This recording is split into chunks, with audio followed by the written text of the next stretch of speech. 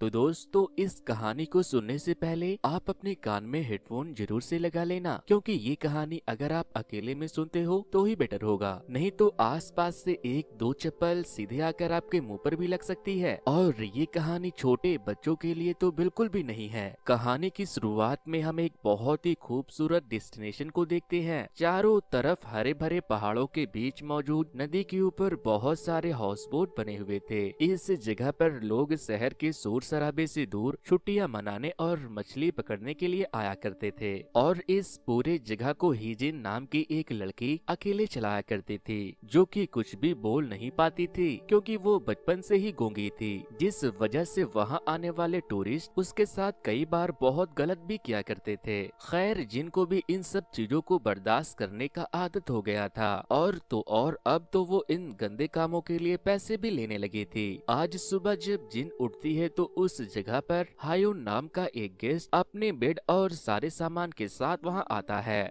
जिन इशारे से उसे अपने साथ आने को बोलती है, जिन उसे अपने साथ अपने फ्लोटिंग बोट पर लेकर जाती है, और फिर बोट पर एक बैटरी रख कर उसे नदी के ऊपर बने एक तैरते हुए घर के तरफ़ ले जाती है। वहाँ पहुँच कर वो हायून का सारा सामान नीचे उतारती है, और फिर अपनी बोट लेकर वहाँ से वापस लौट जाती है। उसके जाने के बाद हायून अपने बर्ड को बोट हाउस में टांग कर खुद घर के अंदर चला जाता है।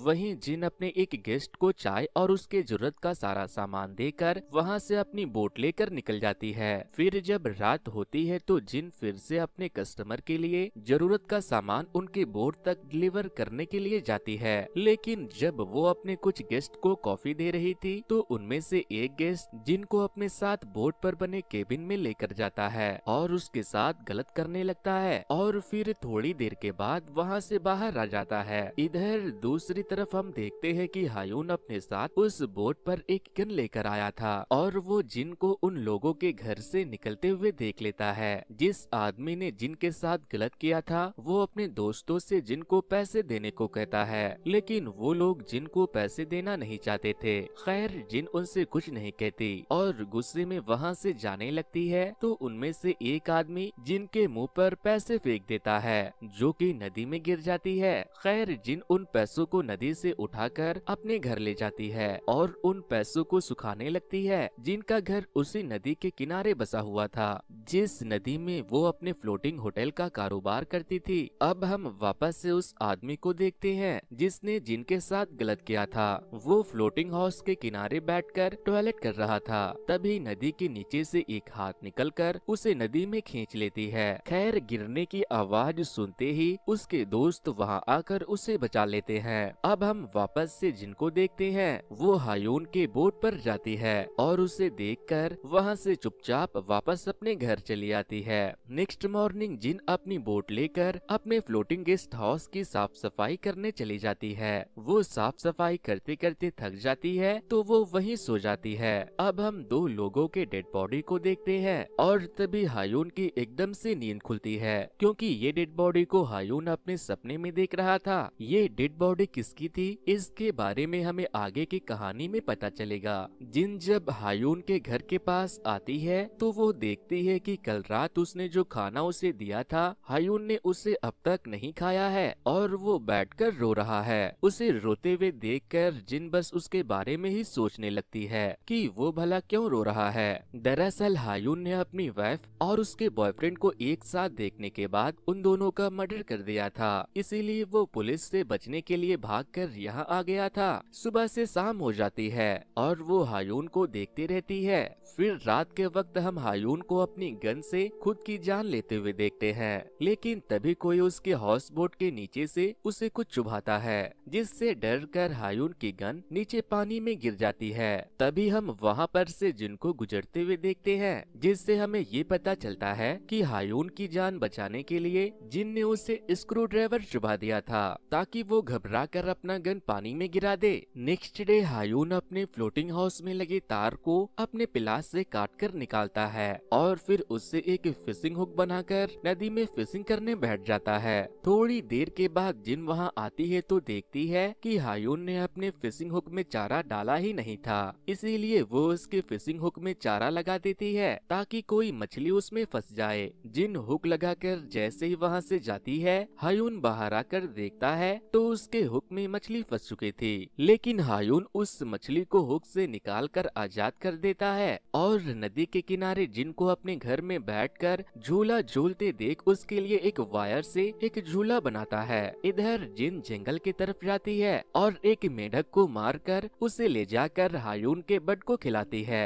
हायून जिन को वहाँ पर देखता है तो वो उसे एक स्कल्पचर गिफ्ट करता है, जिसे उसने वायर से उसके लिए बनाया था, जिनको वो गिफ्ट बहुत पसंद आता है और वो बहुत खुश होती है। साथ ही वो हायून पर और ज़्यादा नज़र रखने लगती है और उसके करीब रहने लगती है। अगले दिन जब जिन अपने गेस्ट हाउस की सर्विस देने जा रही थी, तभी वहाँ पर दो लड़कियाँ आती है। ये दोनों लड़कियाँ पैसे लेकर गलत काम करती थी, जिन उसे अपने साथ एक फ्लोटिंग हाउस में ले जाती है। उन दोनों को वहाँ पर दो लोगों ने उनके साथ गंदे काम करने के लिए बुलाया था। उन दोनों को वहाँ पर छोड़कर जिन हायून के फ्लोटिंग हाउस में उसे खाना देने के लिए जाती है, जहाँ वो उससे पूछता है कि यहाँ पर टॉयलेट करने के लिए क्या करना पड़ता है, जिसके बाद जिन उसे बोट पर बने एक होल को दिखाती है, जिसे उसने बाथरूम की तरह इस्तेमाल करने के लिए बनाया था। हायून वहाँ बैठकर हल्का होने लगता है और साथ ही वो अपने पास वाली बोट पर उन लड़कियों को अपने कस्टमर के साथ पैसों के लिए लड़ाई करते हुए भी देखता है। थोड़ी देर के बाद बारिश शुरू हो जाती है। इसीलिए हायून अपनी बट को अपने घर के अंदर ले जाता है और जिन अपने घर से बैठकर उसे देखकर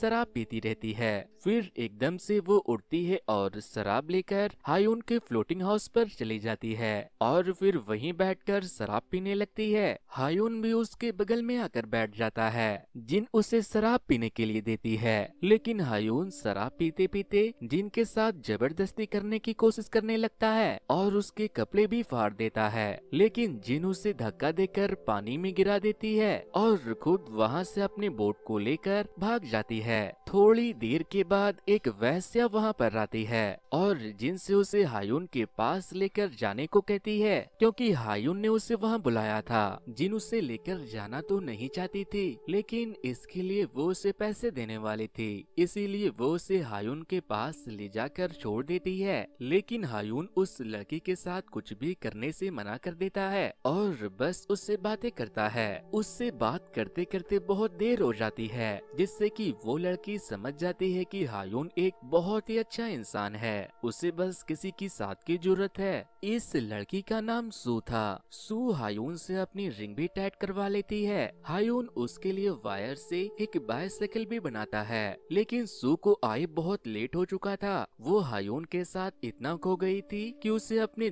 दूसरे कस्टमर का याद ही नहीं था। इसीलिए उसके बॉस वहाँ पहुँच जाते हैं और रायोन को निकाल कर उसे मारने लगते हैं। लेकिन सू अपने बॉस से कहती है कि वो बहुत अच्छा है। उसने कुछ नहीं किया। मैं उसके वजह से लेट नहीं हुई, जिसके बाद सु के बॉस उसे अपने साथ लेकर चला जाता है। फिर जब जिन एक फ्लोटिंग हाउस की मरम्मत कर रही थी तो उसके पास एक नया गेस्ट आता है। वो उसे अपने साथ उसके एक फ्लोटिंग हाउस में लेकर जाती है, लेकिन वो गेस्ट जिन के साथ बहुत गलत करता है और जिन को इस बात का बुरा ना लगे, इसीलिए वो उसे पैसे भी दे देता है। नेक्स्ट डे एक चाचा अपनी बेटी की उम्र जितनी एक लड़की को लेकर वहाँ आता है, जिन उन्हें भी अपनी बोट से एक फ्लोटिंग हाउस में पहुँचाकर वहाँ से चली जाती है। चाचा अपनी गर्लफ्रेंड के साथ बैठकर मछली पकड़ने लगता है। वो एक मछली पकड़कर उसके दोनों साइड के गोश्त को काट कर निकालता है और उसे खाने के बाद बाकी की मछली को वापस वैसे ही ज़िंदा पानी में छोड़ देता है। इधर सू वापस से जिनके पास आती है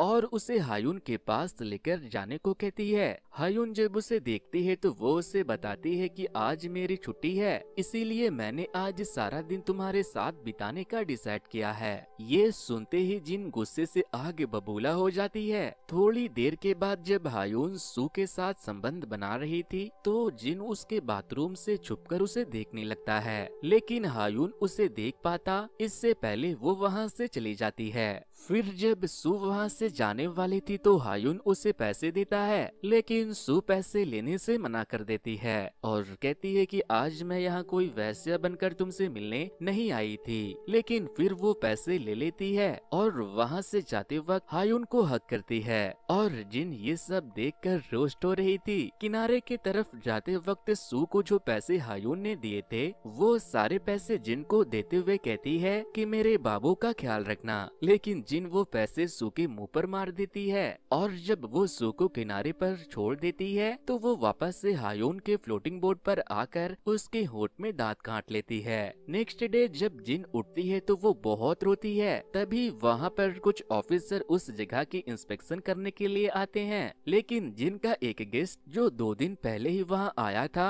वो पुलिस वालों को देख कर वहाँ से भागने की कोशिश करने लगता है। और इसी कोशिश में वो एक पुलिस ऑफिसर को स्टैप भी कर देता है। दरअसल, पुलिस वालों की मोस्ट वांटेड लिस्ट में उस आदमी का नाम भी था। लेकिन वो आदमी पुलिस से बचने के लिए पानी में कूद जाता है, लेकिन उसे तैरना नहीं आता था। इसीलिए वो डूब कर बेहोश हो जाता है, जिस वजह से वो ऑफिसर उसे मछली के कांटे से पकड़कर पानी से बाहर निकालते हैं। वहीं हायून भी पुलिस को देखकर बहुत डर गया था, इसीलिए वो उनसे बचने के लिए फिशिंग हुक को खाकर अपने अंदर की अतड़ियों को डैमेज कर देता है, जिससे उससे ब्लीडिंग होने लगती है। खैर, जिन ने उसे पुलिस से छुपते हुए देख लिया था, इसीलिए वो उसके पास पहुँच जाती है। और फिर पुलिस वालों से उसकी जान बचाने के लिए उसे बाथरूम होल के नीचे छुपा देती है। दरअसल, हायून ने अपनी बीवी को किसी और मर्द के साथ देखने के बाद उसका मर्डर कर दिया था, जिस वजह से उसे ड्रावने सपने आते थे और पुलिस को भी उसकी तलाश थे। लेकिन वो जिनके इस डेस्टिनेशन पर आकर छुप गया था, पुलिस वाले जब वहाँ पर आते हैं तो उन्हें वहाँ पर कुछ भी दिखाई नहीं देता।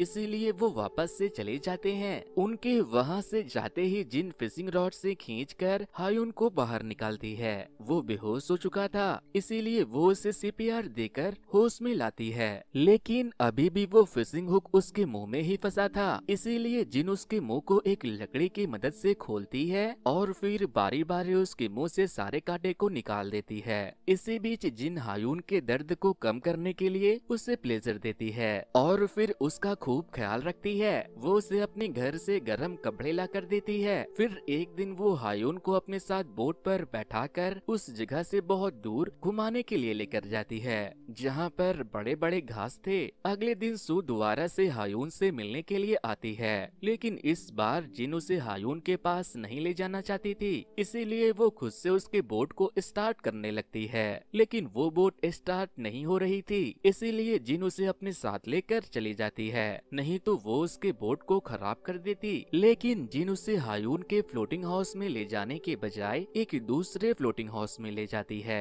और वहाँ ले जाकर वो उसके हाथ पैर बाँध कर मुँह पर टेप लगा देती है और तो और वो उसके बोट के एंकर को भी खोल देती है, जिस वजह से वो फ्लोटिंग हाउस वहाँ से बहुत दूर चली जाती है। इसके बाद जिन हायून के पास जाती है और उसे हग करके उसी के साथ सो जाती है। इधर सू खुद को आज़ाद करने की कोशिश में केबिन से बाहर निकलकर नीचे नदी में गिर जाती है और हाथ पैर बंधे होने के कारण वो वहीं डूबकर मर जाती है। नेक्स्ट डे जिन उसे देखने के लिए जाती है तो वो सू को मरा हुआ देखकर बहुत डर जाती है। इसीलिए वो वापस से किनारे पर जाकर सू के स्कूटी को अपनी बोट पर लाद कर लाती है और फिर सू के डेड बॉडी को स्कूटी के साथ बाँध कर नदी में डाल देती है, ताकि वज़न ज़्यादा होने की वजह से सू की डेड बॉडी नदी के अंदर ही रहे। फिर जब रात होती है तो सू का बॉस उसे ढूंढते हुए वहाँ आता है और जिनके बोट को लेकर हायून के फ्लोटिंग बोट पर पहुँच जाता है। लेकिन जब उसे सू कहीं नहीं मिलती तो वो हायून को मारने लगता है। उन दोनों की लड़ाई शुरू हो जाती है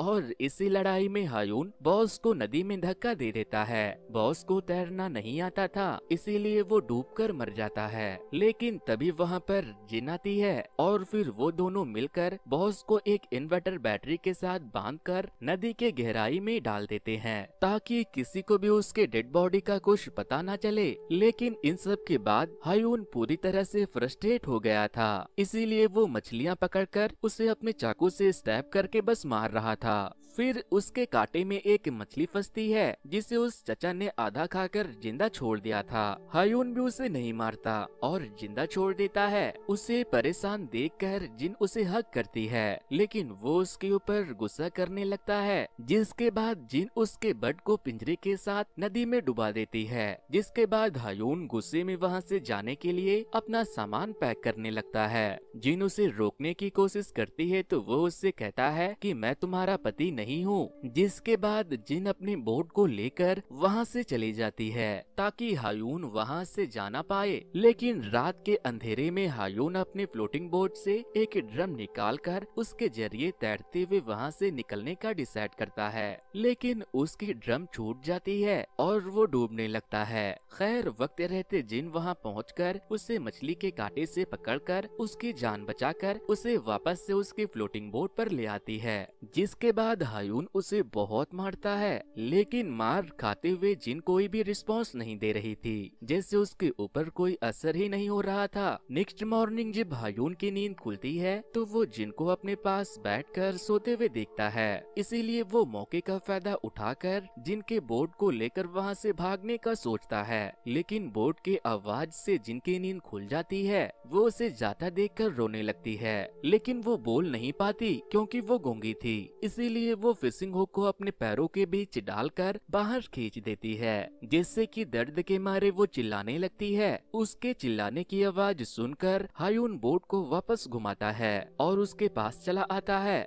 जिन पूरी तरह खून से लथपथ तड़पते हुए पानी में गिर जाती है। लेकिन हायून फिशिंग स्टिक से खींचकर जिन को बाहर निकालता है और फिर उसके टांगों के बीच से सारे हुक को बाहर निकाल देता है। और अब वो दोनों खुशी खुशी एक साथ वही रहने लगते हैं। और तो और हायून भी अब जिनके इस बिज़नेस में उसका साथ देने लगा था फिर एक दिन वो बूढ़ा चचा एक बार फिर अपनी बेटे की उम्र की एक दूसरी लड़की के साथ आता है, जिनका ये होटल ओयो से कम नहीं था। वो बूढ़ा अपनी कीमती वाच को फ्लोटिंग हाउस के किनारे रखकर मछलियाँ पकड़ने लगता है। उसके कांटे में जैसे ही एक मछली फंसती है, उसे देखने के एक्साइटमेंट में उसकी गर्लफ्रेंड के पैर से बचकर उसका घड़ी नीचे नदी में गिर जाता है, जिससे कि चाचा गुस्से में अपनी गर्लफ्रेंड को एक थप्पड़ भी लगाते हैं, क्योंकि चाचा की वो घड़ी बहुत बहुत कीमती थी, जिसके बाद चाचा अपने एक आदमी को कॉल करके वहाँ पर डाइवर्स को भेजने के लिए कहता है, हायुन और जिनकी जब नींद खुलती है तो वो नदी के अंदर से कुछ डाइवर्स को